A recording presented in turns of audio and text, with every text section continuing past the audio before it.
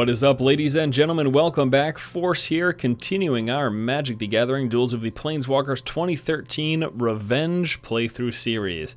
Last video, we struggled our way through Odric, but were able to defeat him, and now we are up against Miss Liliana.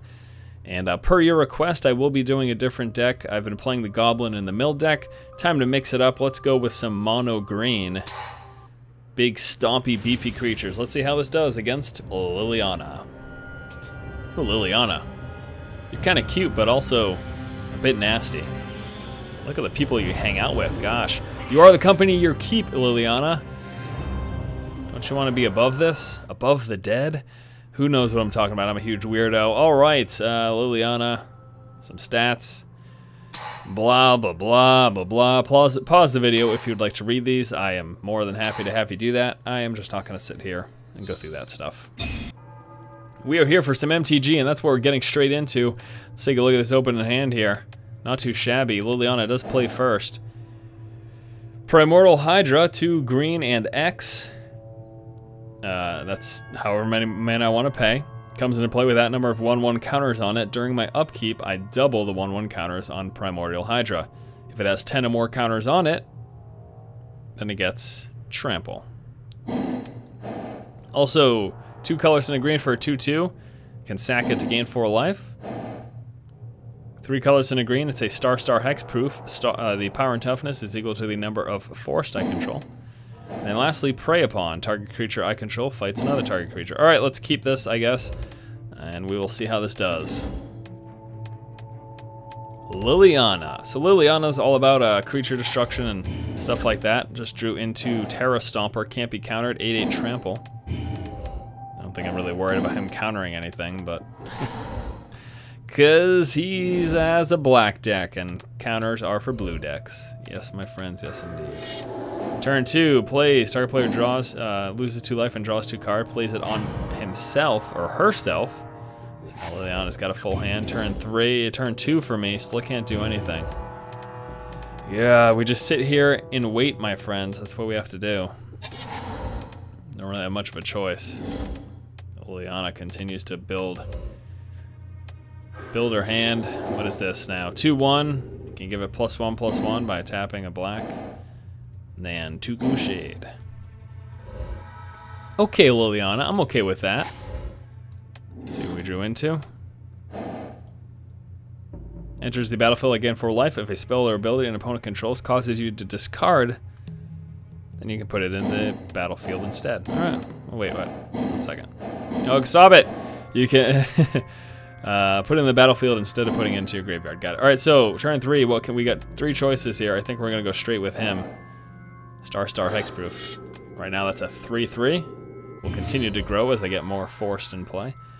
Now, the big thing for me though with this is that again, Liliana's deck is all about creature destruction and stuff. So having a hexproof in play is pretty, uh, pretty, pretty vital for me. There. Swings for two. I of course am going to take it, and Liliana will likely pump it up. Let's see if she pumps it up for. Ooh, doesn't. Saves her mana to play. There it is. Jet Medallion, black spells cost one less to play, her black spells, and she also is going to lose two life again to draw two cards. That's 16 now. now this turn, that a 4-4, and also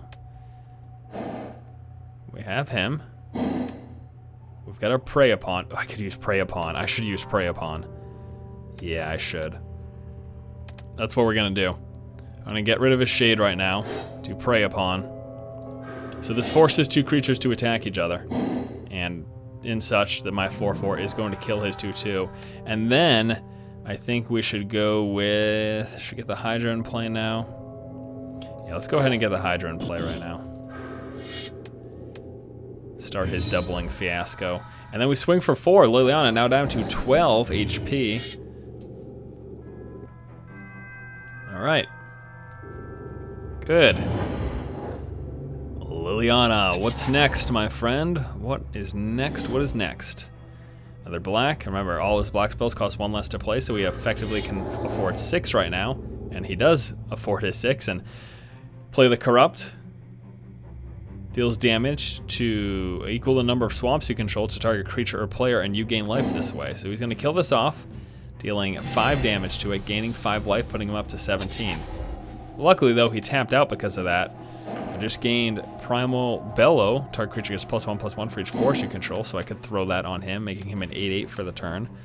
Um, but I could also play this 4-4 to gain 4 life. Yeah, I think I'd rather do it this way. Oh, yeah. I'm to go like this. To put the boar into play. Then we attack for 4. And make it 8. Just like that. Bringing him down to 9.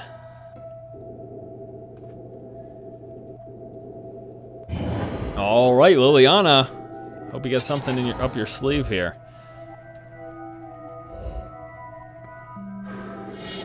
Taps three, plays a Shade. When it enters the battlefield, search your library for a swamp card, reveal it, and put it into your hand. Also, you can pump it up, as you can see, with black mana. Plus one, plus one. Gets the swamp, plays the swamp, and then nothing else.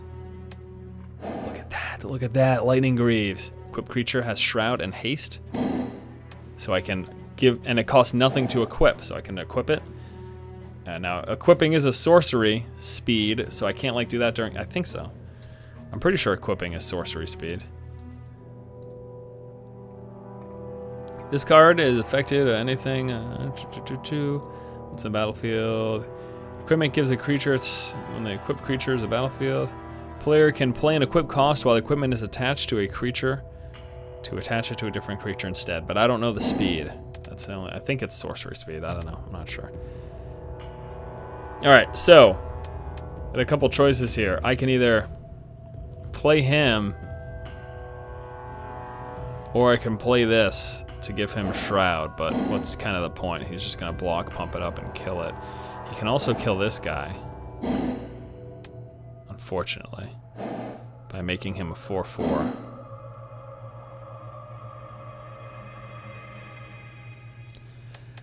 So,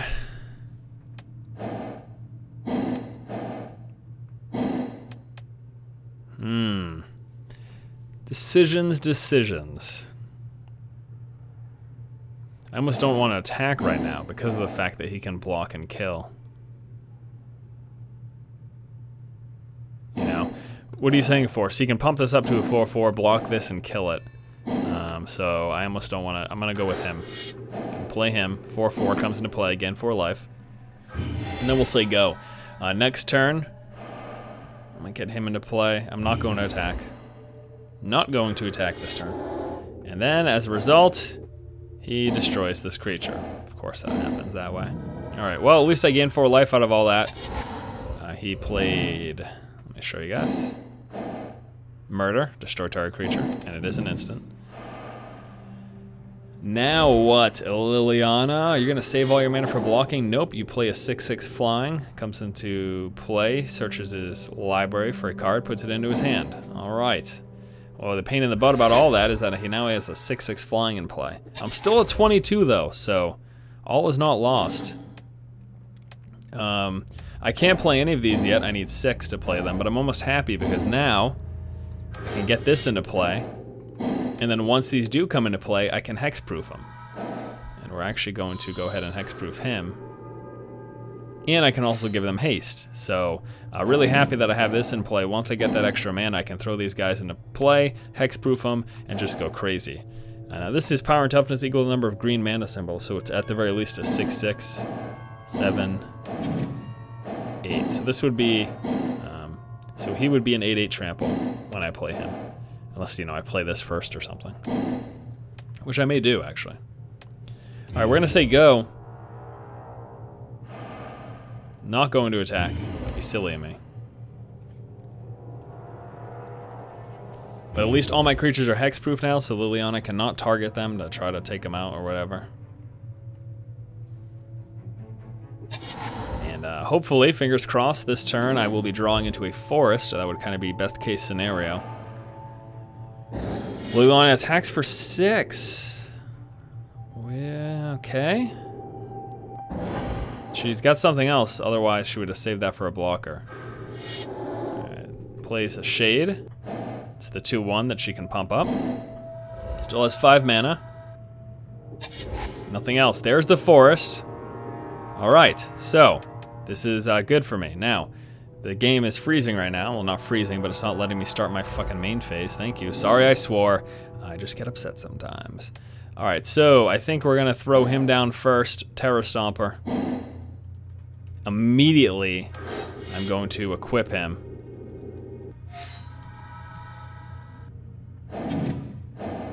Immediately, throw this on him. Does the Liliana respond by killing it? No. Okay. Now he's got haste, he's got trample, and he cannot be targeted. And yeah, this is good. This is really good. We will hit with everything. I don't believe uh, Liliana is going to die this turn, but we'll be taking some significant damage. We hit with everything. It decides is taking the eight. I could sack this for four life, which I will do. Pumps it up. One. Two. I think uh, the trade's about to take place here. She can, yeah, she's gonna do it. All right, so uh, is going to kill this off, unfortunately enough. That's a real bummer, actually. But Liliana's also now down to one. So, I'm at 20, Liliana's at one plays. Yeah, okay. Put target creature card from a graveyard under the battlefield under your control, and she is taking this to gain four life, my 4-4. Liliana, attack phase, swings for two. Gonna pump it up to five.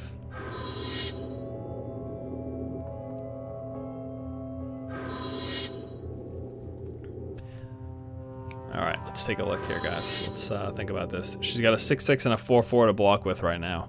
I'm at 15. Liliana's at 5. Drew into hexproof creature, whatever. This is going to be 6, 7, 8. This is going to be a 9, 9. All right. Mm, do we win right here? No. Equip him. Give him haste. Means he can attack this turn. Six, seven, eight, nine. This could be the win. Four. Uh, I think this is a win. I think we have a winner here.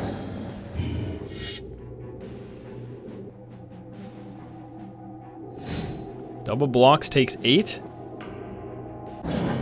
There's the win! I guess uh, they didn't really have a choice. Either way, it was a death because both my creatures had trample. Now remember, creatures with trample, their damage goes through uh, depending on the remainder of the damage compared to the toughness of the creature that blocks. As opposed to creatures without trample, if you just block it, no damage goes through. So that's why Liliana lost there because of my two trample creatures. And uh, I'm pretty happy with that victory there. Wow, very good. Alrighty.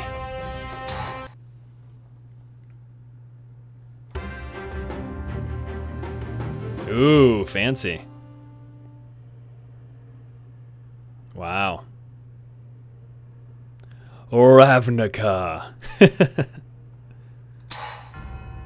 All right, so Ravnica is the next bet, and the first deck is a Goblin deck, Krenko. Krenko the Goblin. I think we got time. Why don't we do it? All right, so Krenko the Goblin deck, my friends. You almost, you know, I'm almost thinking fight fire with fire here. Um, I think that the, the green deck is way too slow. So um, I, I hate to say it, but we're going back to the Goblin deck. I think that this is going to be really my, my best shot right now. All right, let's take a look here. Opening hand. Not the greatest. Draw a new hand. Meh.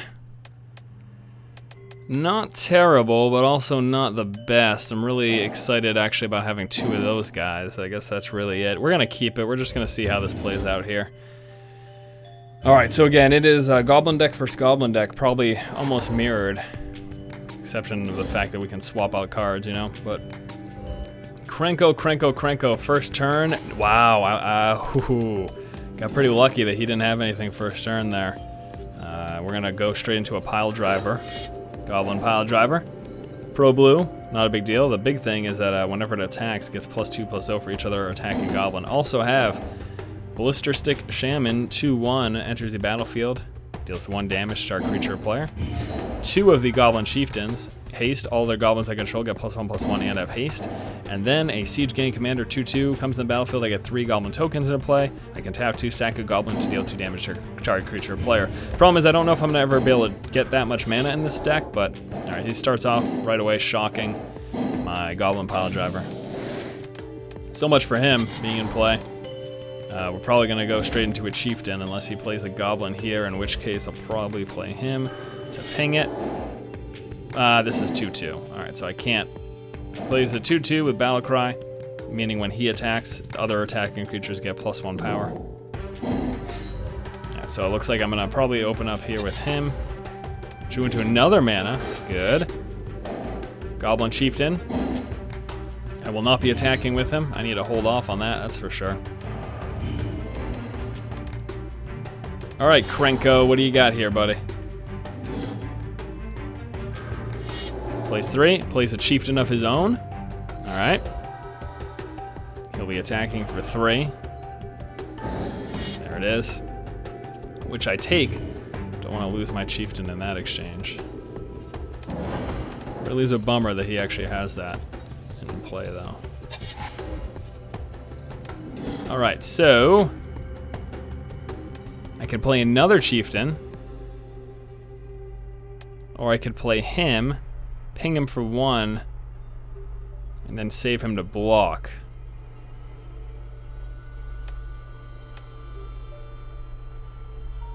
I could also just do that next turn, right? Well, next turn I'm, I'm going to be able to play the Siege Gang Commander. So, why don't I do this? Another Chieftain. Next turn, Siege Gang Commander comes through, and I think at that point, things are going to change a bit. Uh, things are going to change a bit. And we're going to swing for three, which he won't block because it would not be worth it to get rid of his uh, his own chieftain. So Siege Gang Commander next turn is pretty huge, guys. That's a, a, a pretty big thing for me. I'm going to get not only him in play, but also three, three, three goblins. He plays 6-6, but it cannot attack or block unless he's got more creatures than me. Goblin Goon is good, but not really in this. Oh, actually, he's going to be able to hit for 7 right now. Wow. 7, 8, 9, 10, 11, 12. Hits with everything. Um, I need to win next turn. Right, well, no, I don't need to, but... Skip blocking. Let's see if I can win this turn. Down to three. Siege Gang Commander. All right, let's take a look at how much damage this is. He's at 17. Four. All right. Six, 12, 13, 14, 15. Oh, I win. That is enough damage for the victory. Wow. Perfect. Krenko. Take that. Talk about a one-two punch, huh? I guess the first game wasn't exactly easily won, but we did win it. Yeah, the green deck would have done terribly against this, which is pretty much what informed my decision to just go Goblin against Goblin. Um, I really felt like that was the best thing. And that is going to do it for this video.